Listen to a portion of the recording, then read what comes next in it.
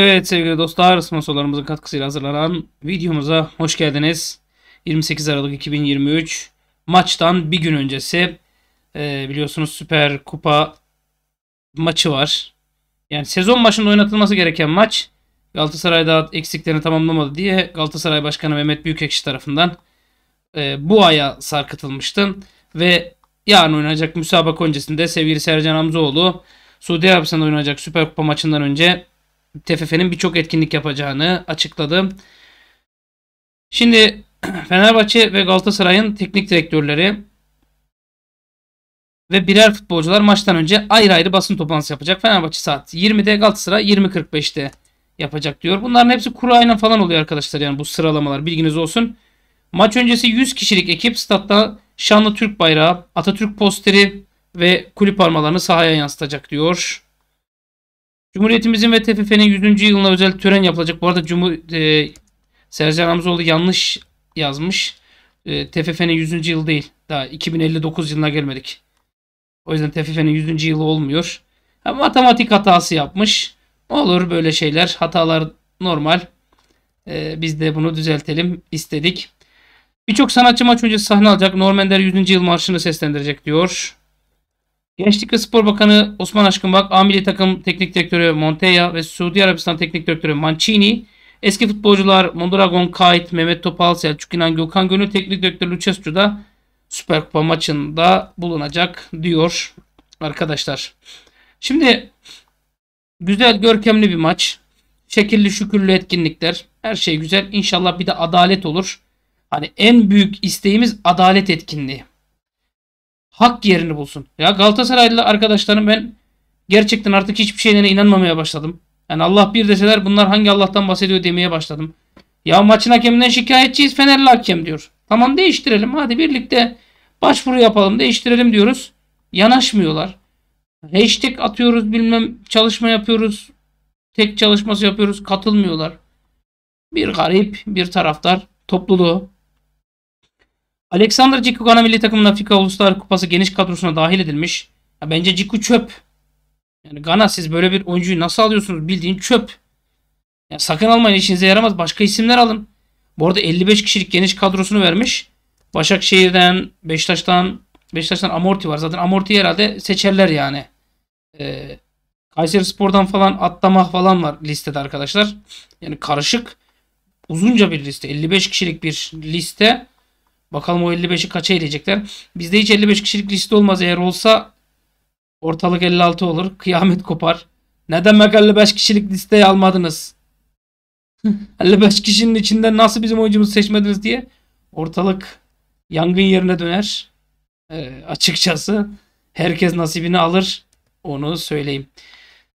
Kaptanımız Edin Dzeko. Biz zaten maçları kazanmak için kulüpten maaş alıyoruz. Galatasaray yenmek için prime ihtiyacımız yok. Benim payımı kulüp çalışanlarına dağıtın. Yeni yıla aileleriyle birlikte mutlu girsinler demiş. Yüksel Aytuğ'un haberi Sabah gazetesine. Genelde Sabah gazetesinin haberleri doğru çıkmaz ama bilmiyorum arkadaşlar. Nasıl olacak, nasıl edecek. Ee, bunu da konuşmuş olduk. Şimdi bana şeyi çok soruyorlar. Hocam Tadic çok kötüydü. Tadic oynamasın. Evet. Joshua King oynasın diye. Ya abi şimdi e, bazen belagatlı konuşmak gerekir. Yani az sözle çok şey anlatman gerekir. Önder Özen çok güzel cümleler kurmuş. Diyor ki eğer oyun 3. bölgede oynanmıyorsa Tadic'in iyi oynayıp oynamadığını anlayamazsınız. Anlayamayız. Tadic kötü yorumlarını unutun. Tadic'in sanatı 3. bölgede ama oyun burada oynanmıyor.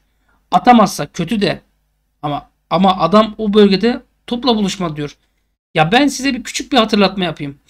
Pozisyonun birinde ceza sahası içinde topla buluştu. Hatırlıyor musunuz? Saka Boy'den falan sıyrıldı. Ee, güzel de döndü. içeri çevirdi. Top tekrar önünde kaldı. Çalım yaptı şey yaptı. Tekrar içeri çevirdi. Yani Tadic'in en büyük etkinliği bu. Ceza sahası içerisinde e, ya da 3. bölgenin genelinde Tadic topla haşır neşir olursa rakipte yediği golle haşır neşir oluyor. Ya da yediği ataklarla aşırı neşir oluyor. Ben King'in oynatılacağını düşünmüyorum. Ama elde en azından bir silah var. Kadınlar derbisinde kazanan Fenerbahçe ING Kadınlar Basketbol Süper Ligi'nin 17. haftasında Fenerbahçe Alagöz Holding Galatasaray Çağdaş Faktöring'i 103-83 mağlup etti. Fenerbahçe bu sonuçta 16'da 16 yaparken ligde Galatasaray 6. yenilgisini yaşadı. Bu şey gibi Süper Lig'de eğer adalet olsaydı aynen tablo bu olacaktı. 16'da 16 Fenerbahçe Galatasaray 6. yenilgisini alacaktı. Demek ki basketbolda nispeten Süper Lig'e göre adalet var. Yani ve Mehmet Büyükekşi Federasyonu'nun da bu beklenilir. Bu arada e, arkadaşlar Elif Elmas olayında herhangi bir sıkıntı yok. Yani hocam işte bonus var yok. 1,5 milyon euro Fenerbahçe kasasına girecek arkadaşlar. Rahat olun. Yani orada herhangi bir pürüz yok. Herhangi bir sıkıntı yok. Ve e, iyi de bir anlaşma yapmışız zamanında. Çok zekice bir anlaşma yapmışız. Yapanların eline, emeğine, yüreğine sağlık. Çok akıllıca bir hamle yapmışlar. Gerçekten de tebrik etmek lazım. Çünkü ya bir futbolcu geleceği çok parlak bir futbolcu. Bak biz Vedat'ta da aynısını yaptık. Biliyor musunuz Vedat Muriçi'de? Biz Vedat'tan da pay aldık arkadaşlar. Yani mesela Fenerbahçe'nin kapı açıklaması ile e, transferde transfer markette yazan para birbirini tutmuyor. Çünkü bonuslar vardı. mesela şu anda Vedat Muriçi e, alt baldır sakatlığı Fenerbahçe kaça sattı gözüküyor arkadaşlar? 21 milyon euroya sattı gözüküyor. Ancak hem alışımızda hem satışımızda opsiyon vardı. Yani bizim Çaykur Rizespor'a vereceğimiz payda vardı. 5.600'e almış bulunduk. 21'e satmış bulunduk arkadaşlar. Yaklaşık 15.4 milyon euroluk bir kar elde ettik. Şimdi Vedat'ı çok soruyorlar. Vedat gelse nasıl olur falan filan diye. Ben kulübün öyle ucuza bırakacağını zannetmiyorum Mallorca'nın. Bilginiz olsun. E, alakamız da yok. Şimanski. Fenerbahçe'mizin Polonyalı yıldızı Sebastian Şimanski. Ülkesinde gündem olmuş. Napoli, Manchester United, Chelsea, Liverpool Şimanski'yi takip eden takımlar diyor. Ben şunu söyleyeyim. Avrupa'da bazı teknik direktörlerin hastalığı vardır. Kafaya bir futbolcuyu takar. O futbolcunun arkasından gider o futbolcuyu illaki alır. Misal Erik Ten Hag.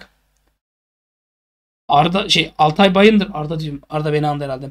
Altay Bayındır'ın gittiği döneme bakın arkadaşlar. Yani o kadar iyi olduğu bir dönemde falan gitmedi Altay Bayındır. Hani Prime Altay Bayındır döneminde gitse Manchester United'da anlarım. Prime dönemde gitmedi. Ama Prime dönemde hafızaya yeri ettirdi. Hafıza da yerini aldı.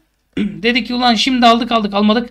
Bu tekrar çıkışa geçerse bir daha bunu alamayız dedi ve Manchester takımı transfer etti. İşte Şimanski için de Jürgen Klopp'un çok ciddi bir hastalığı var. Fanatizmi var. Biz bunu kullanmalıyız bence bana sorarsanız. Ve Şimanski zaten ülkesinde manşet olmuş. 28 maç 11 gol 10 asist. Ve Şimanski transferinde iyi bir anlaşma yaptığını gösterdiğini kaydetti diyor. Fenerbahçe bak 28 maçta 11 gol 10 asist yaptı. Ya bazı futbolcular sezonda 28 maç anca çıkıyordu Fenerbahçe'de. 11 gol, 10 asist yapan futbolcuyu biz sırtımızda falan taşıyorduk. Biz çok futbolcu gördük arkadaşlar. Kendine futbolcuyum diyen çok futbolcu müsveddesi gördük. Ben süperim, ben süperstarım, muhteşemim diyen çok futbolcu müsveddesi gördük. Ama Şimanski başka. Şimanski'nin en büyük avantajı ne biliyor musunuz? Fenerbahçe'nin kötü olduğu zamanda geldi. Kimse Alex'te falan kıyaslamıyor. Yani Bizde bir bug vardır. Gelen futbolcuyu Alex'le kıyasladığın anda çökmeye başlar futbolcu. Ya bir susun, bir kıyaslamayın. Ne kaybedeceksiniz desek de yok. Şimdi transfer konusunda da Şimanski'nin kafası çok karışık biliyor musunuz? Belki de hafif bir form düşüşü var Şimanski'de. O bundan dolayıdır. Yani çok iyi bonservis bedeli kazandırabilecek. Chelsea, Liverpool, Manchester United, Napoli. Ya bir şey söyleyeyim. Bunlar öyle sıradan takımlar değil. Bunlar öyle hani e, 3'e 5'e bakmadan futbolcunu satabileceğin takımlar değil. Bunlar çok enteresan takımlar. Şimdi Fenerbahçe'nin taktiği neydi? Alayım 1,5 milyon euroya Atilla Salah'ı bir şekilde 10'a, 12'ye, 8'e, 9'a satayım idi. Fakat Şimanski de Fenerbahçe kabuk değiştirdi. 9.75'e aldı. 9.75'e aldı. 29 maç. Bu arada 29 maç 11 gol 10 asist diyorum ancak 2012 dakika arkadaşlar. Yani 23 maça falan tekabül ediyor. 23 maçlık dakika süresinde yani 11 gol 10 asist basit bir şey değil. Konferans liginde şurada burada attıkları da şey değil. Ee, Fenerbahçe 9.75'e aldı. Hedef 40'a satmak. Bir şey söyleyeceğim. Fenerbahçe gerçekten 40'a satabilir. Sebastian Şimanski'yi 40'a satabilir. Bunu söylediğimde kimse inanmıyor. Mesela Ferdi Kadıoğlu. Fenerbahçe Ferdi'yi de 40'a satabilir. Hocam Süper Lig'de 40'a giden futbolcu oldu mu ki? Bir şey söyleyeceğim. Mesela e, rekor sanırım Cenk Tosun'da. Cenk Tosun gittiği zaman hiç böyle bir cümle kurdunuz mu? Şimdi Arda Arda Güler'in 10 milyon euro daha opsiyon hakkı var. Yani 20'ye sattık 10 daha gelebilir. 10 daha gelirse ya Türkiye'den hiç kimse böyle gitti mi diyecek misiniz? Demeyeceksiniz. Ben şunu söyleyeyim. Sezon sonu her şey farklı olabilir. Fenerbahçe şampiyon olup konferans liginde ciddi bir şeyler yapıp belki inşallah kupayı alırsa çok ciddi olur. 2027'ye kadar sözleşmesi var. Bakın Süper Lig'de 18 haftanın en çok top kapan oyuncusu Şimanski. 18 hafta bak ben bunu sıkça dile getirdim. Kimsenin göremediği kısmı anlattım size. Anlat yani benim anlattığım kısım buydu. Klasik 10 numaralardan hariç olarak çok fazla pres yapıyor. 8-10 karışımı oynuyor dediğimde anlamadığınız kısım buydu. E, sonuç ortada. Polonya'da en iyi 3. futbolcu seçilmiş. 1. Piotr Zielinski. Ben ısrarla söylüyorum. Bas bas bağırıyorum. Fenerbahçe'nin alması gereken isim Zielinski. 29 yaşında Polonyalı. Ya sözleşme bitişi. 30 Haziran 2024'te sözleşmesi bitiyor. Transfer market değeri 30 milyon euro. Ben size bir şey söyleyeyim. Bizim almamız gereken futbolcu Şimanski'nin yanına Zielinski. Tamam Kurunic çok fazla konuşuluyor. Hani çok fazla gündemde. Kabul eyvallah. Ama bizim almamız gereken isim Zielinski. Hocam Zielinski'yi alamayız. Sebebi ne şekerim? Hocam Zielinski merkez orta saha. Yani 8 numara. Orada Fred varken Zielinski'yi alamazsın. Peki bir şey soracağım size. Zielinski, Fred, Şimanski'li bir orta saha hattı mesela hiç düşündünüz mü? 3 tane 8 gibi ya da çift 8 bir tane 10 gibi.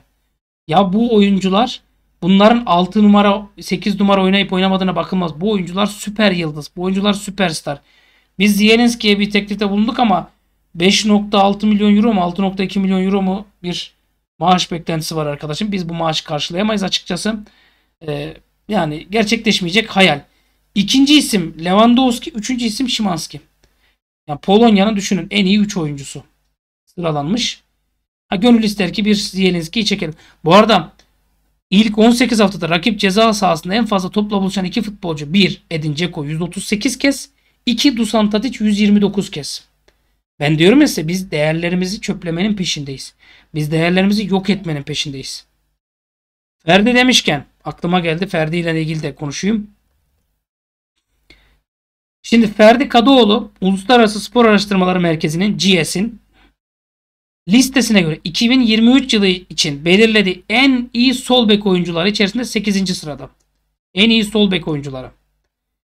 Yani Sakaboy 100 kişilik sağ bek listesinde bile yer almamış. Öyle diyorlar ama ben bilmiyorum. Yani GS'in zaten şunu söyleyeyim. Eğer Sakaboy ilk yüzde falan yer alsaydı herhalde Galatasaray taraftarı da onu paylaşırdı diye düşünüyorum. Öyle değil mi? GS e, en iyi sağ diyeyim. Yani listeyi açıklamışlar. Süper Lig'den sadece bir isim mi diyor. Theo Hernandez falan diye gidiyor. E, Grimaldo. İnanılmaz isimler bunlar ya. Ha bir Ferdi'nin buralarda olması zaten beklenilir durum değil. Zinchenko Arsenal'den. Ferdi Fenerbahçe'den. Yani böyle bir sıralı bir liste gidiyor. Dediğim gibi eğer burada Sakaboya falan yer alsaydı herhalde Galatasaraylılar şeyden Cumhurbaşkanlığı resmi internet sitesinde falan paylaşın derlerdi diye düşünüyorum. Ama Ferdi de Ferdi yani. Bak şunu söyleyeyim. Biz elindekinin kıymetini bilen insanlarız. Biz mesela futbolcumuzu öyle üfürük yere öven insanlar değiliz. Ya Ferdi şu kadar ediyor. Eder. Mesela bak Vedat Muriç'i.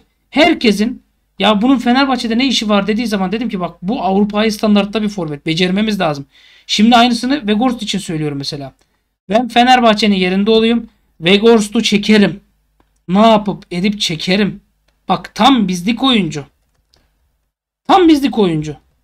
Düşünsene bak devre arasında Vegors'u çektin. Zielinski'yi çektin. Hani beceremezsin de. Bir de stopere de Çağlar'ı çektiğini düşün. Yeter. Allah'tan belanı mı istiyorsun? Ama ben şunu söyleyeyim.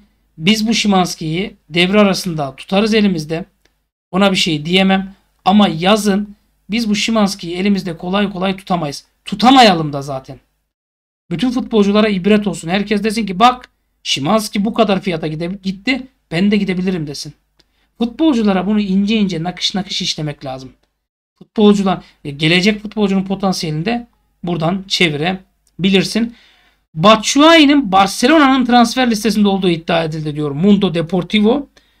Tam Barcelona son dönemlerde kötü diyorlardır da hani o kadar da kötü değildir herhalde ya Barcelona. Biz bu videodan ne anlamalıyız arkadaşlar? Biz bu videodan şunu anlamalıyız. Şimanski devre arasında kesinlikle gitmeyecek. Müjdesini vereyim Şimanski müjdesini.